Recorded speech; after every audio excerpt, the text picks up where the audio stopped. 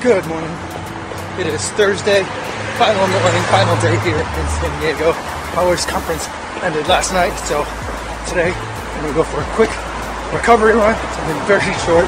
My legs are just absolutely spent, and my left Achilles is starting to feel a little bit overworked. So just taking it easy today, just stretching the legs, and then my wife have a couple hours where we finally get to hang out together in the city during the daytime, and uh, then we gotta head back Chicago.